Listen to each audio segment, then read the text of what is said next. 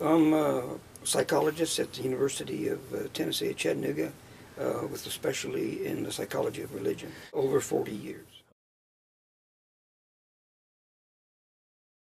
I think that every um, specialty, whether it's law, medicine, psychology, um, has a range of techniques and a range of uh, clients that people deal with, and that no single person is an expert in every possible situation.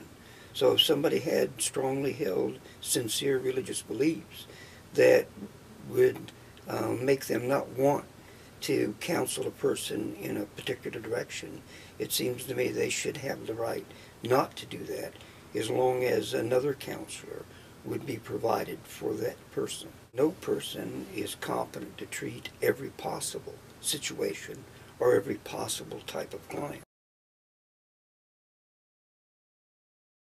If you think about another specialty like medicine, everybody knows their limits, and what they need to do is make a referral when something is outside their particular specialty or limits.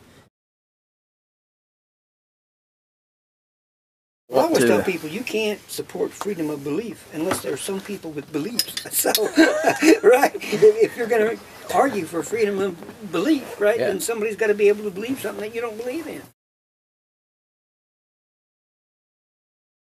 Um, I mean, it's well documented. The APA takes uh, essentially anti-religious stances, Yeah. and it's well documented that psychologists among the population are the least religious people of all.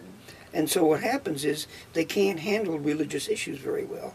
And then what they try to do is put it within a, a psychological, pathological framing that it's our requirement to enlighten these people to get rid of their naive, superstitious beliefs. And, and that's why the whole movement in the APA now is to talk about being spiritual but not religious, and, and you know, religion is a problem, and, and the notion that religious exemptions don't count because these are rooted in pathological tendencies is just a horrendous problem.